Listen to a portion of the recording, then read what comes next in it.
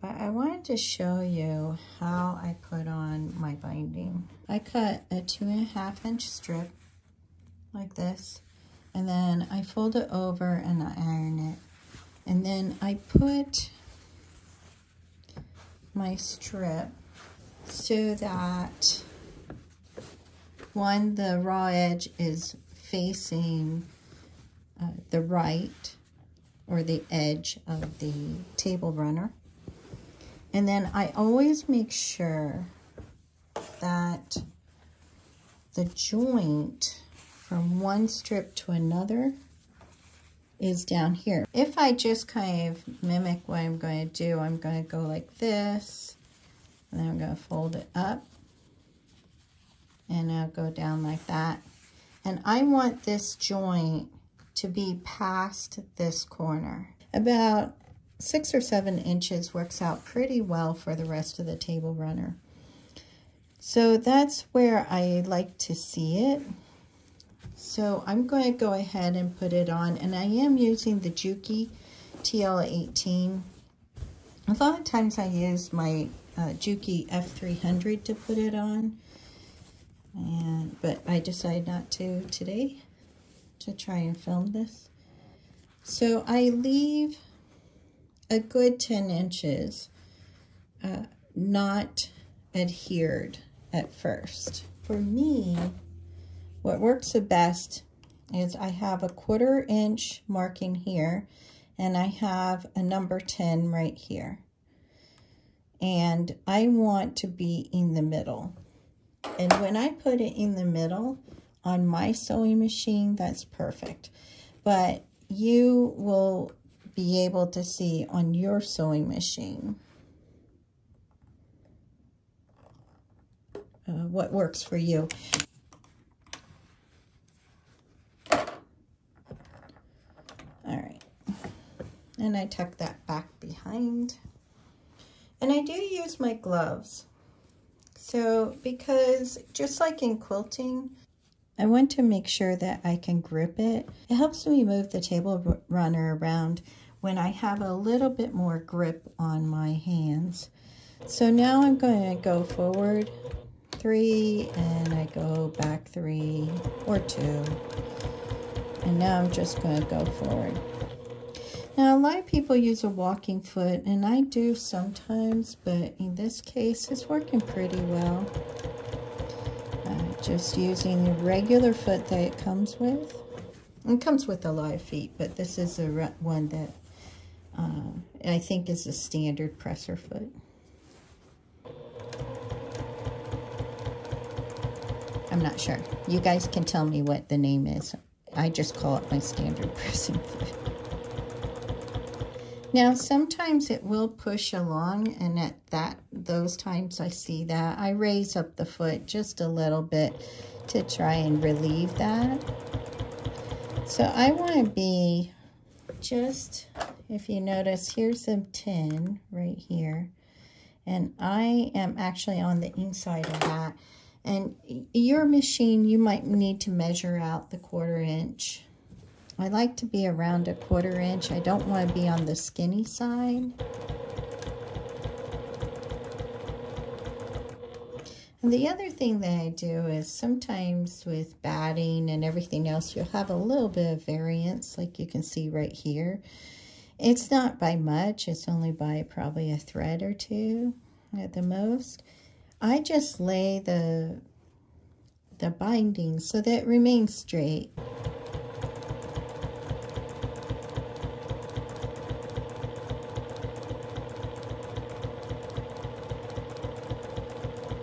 I think as long as you do things consistently, it works out really well.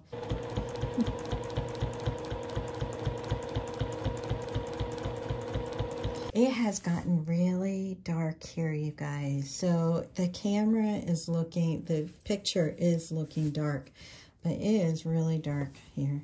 So I've got lights on and we're doing our best, but it is super dark. It is going to storm. Well, it is storming right now, but yeah. So, but I wanted to capture this and see if I could show. So I'm sorry it has a yellow tint to it. Not usually like that here in this room.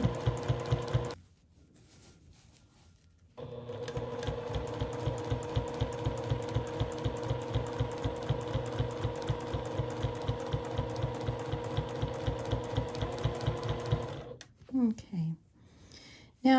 Now to this corner and this is where I like to kind of see where is my end. So for me, if I press down, I can see my end is here. So let's go ahead and do that so that you can see it. And well, I don't usually do this. I'm doing it so you can see. so I want to come within a quarter of an inch, about like there and I raise my foot and I put it so that I am at a quarter of, uh, so I'm at an angle. So here's my point right down in there and here's the end. So it's like a 45 degree angle. All right. And I'm going to come down my 45 degree angle. One more. And I'm going back up. I don't know if anybody else does this, backs up like I do. But I just think it's good. And I'll take two more stitches and I do cut off the thread. I don't tuck those threads. Those I just cut off.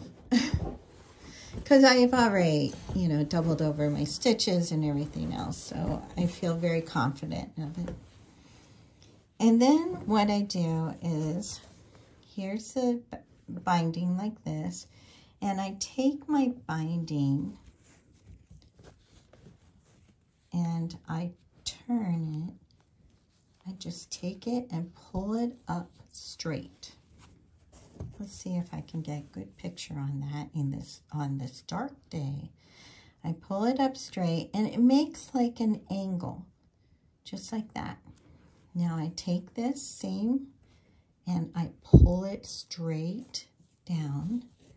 And at the top, you can see I put my thumb. I like to put my thumb right at the top here because when I pull it straight down, all I do is you can see where the end is right here. And I just put, pull my thumb out and I put it like that. And now I'm ready to stitch. So I'm going to start my stitching right here at a quarter of an inch. And this basically is unstitched right here. I'll show you in just a second. All right. Let's go ahead. And I'm going to double back on the stitches. But it's not. I'm going to over my stitches. I'm going to cut off so I can show you. So when I do my angle, there's my angle, and I put it up to the top, just like that. So it goes across the top. This is open. This is just kind of flapping there. But you want that because later on you're going to turn that so that you can uh, go ahead and fold it over just like this. And there we go. I'm not holding it correctly, but that's what it's going to look like. It's kind of hard to hold it right like that. And that's what it's going to look like, just like that. So it'll turn out great. And now I'm going to continue and I'm going to go around all four corners. And I hope this helps. I know that I struggled for a long time with binding. I, I am going to finish all four corners and then I'm going to show you how I join them. And uh, hopefully that helps too. Now we're coming into the end and I'm going to go ahead and sew this down.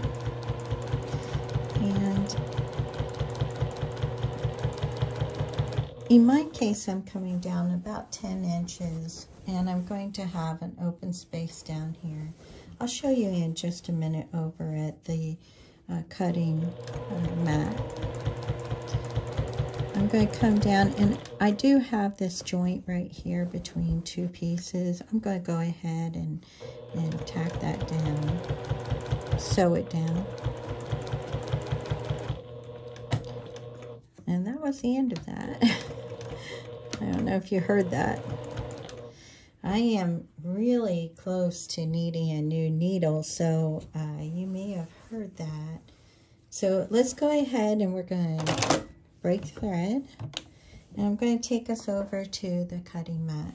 What we're going to do is I'm going to, I like doing this on a cutting mat because I'm going to overlap the two ends.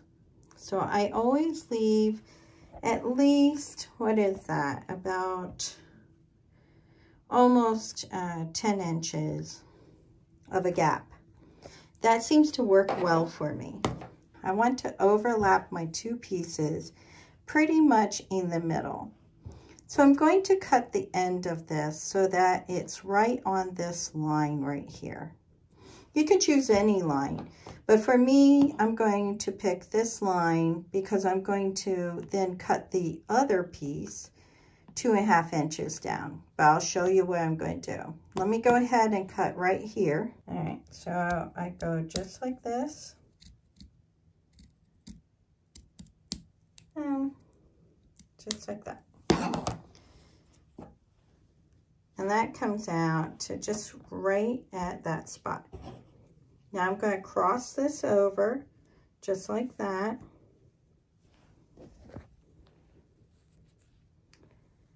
And I leave them a little bit crossed over where I can see it right there. And I want to cut the top one two and a half inches from the, uh, the bottom one's end.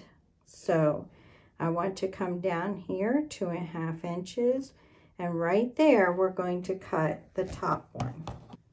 I, you have to be careful because you don't want to cut anything else. So you have to make sure that you're only cutting this top. Okay, so I'm going to go ahead and I'm going to cut the top straight across. Okay, right, I'm going to get a better cut on that because I can see it's a little bit crooked because I was filming while I was cutting. That's a whole lot better. All right, so that's two and a half inches difference. Now I'll show you back at the sewing machine how I'm going to uh, make it work. So it's really important at this stage to not get this twisted. Like you don't want this to twist over and then be wrong. So what I do is I open it up, the top one. I always have the top on top and the top on top. I always have this one coming from the right on top and I lay it just like that on my hand. Then I open this bottom one and I open it up and I want the, the pressed middle to match on both of them. So here's a pressed middle, here's a pressed middle. And I want to cross them just like that. A lot of times if I'm having trouble or I'm trying to film, it makes it a little bit harder. I'll take a pen and I'll just poke, I'll poke it. I just put the pen in here and put the pen right there, just like that. And that holds the table runner together. So I can just concentrate on this and it the binding and it's not being pulled by everything else. All right. So now I'm still have my fingers on the same thing. But what we want to do, I'm trying to get everything nice and flat for myself. I want to have these two overlap just like that, like two squares. But it's going to be a little bit up on the top and a little bit over on the bottom. So you will overlap them with a little bit extra. Now let's put this down. All right. And we are going to sew a diagonal from the top of the top one to the bottom of the bottom one, which is right here. so we're just going to do a diagonal and we're going to go through this middle part here. I'm going to double back on my stitches. And I like to keep it flat. So I'm going to pull it a little bit so it's a little bit flatter. And I'm just doing a straight line down here.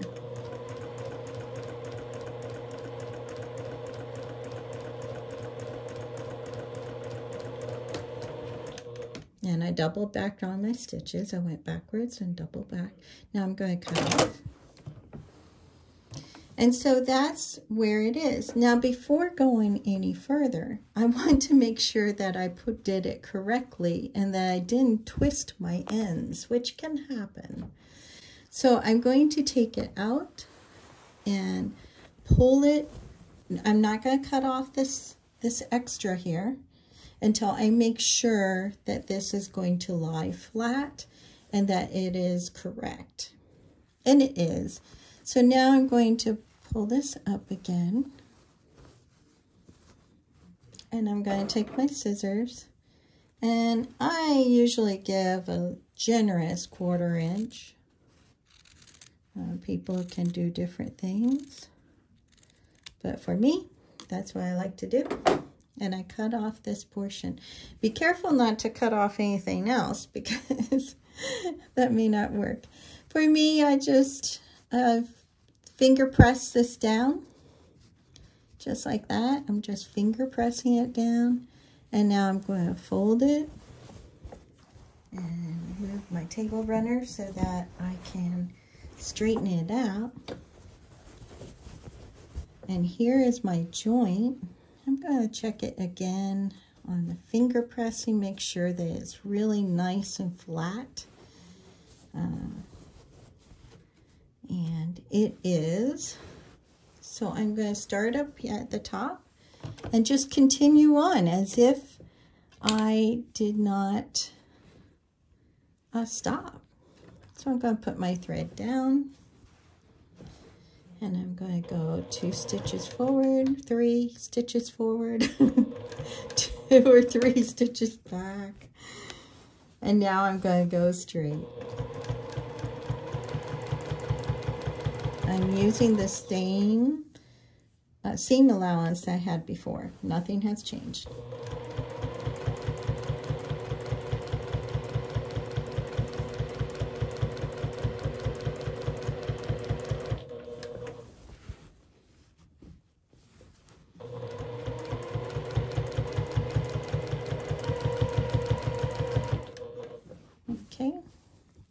Coming. I see a little bit, there may be a little bit play in there, maybe not. Sometimes you can be off by just like a hair. And you can have this kind of look like it's going to make a uh, fold. You don't want that, so, because I got this.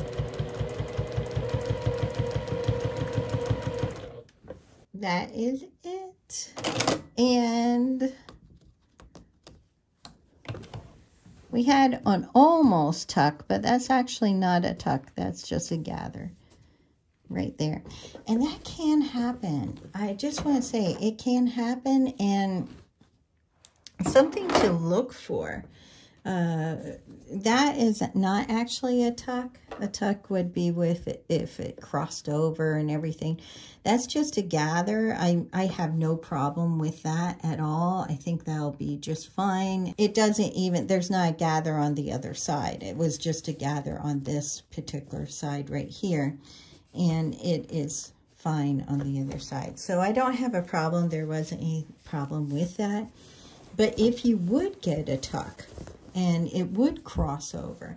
That's when I do, I do take it out and I'll use the seam ripper and I will take out that space right there and then I add uh, some pins in there uh, to absorb some of the, uh, you know, I'll go ahead and I'll put pins different places I'll just do it around the gather.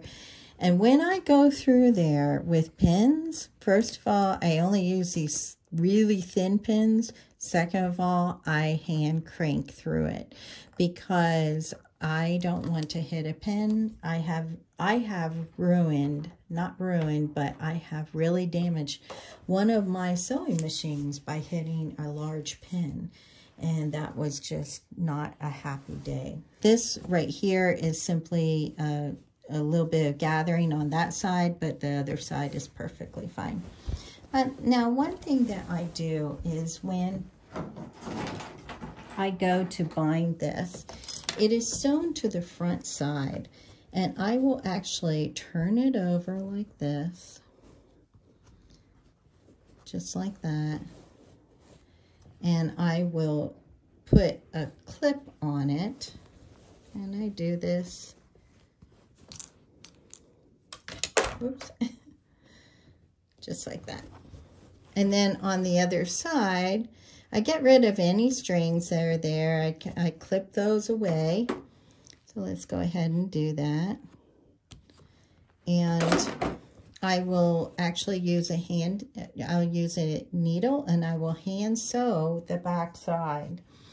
And that I just use a basic stitch uh, that is uh, hidden.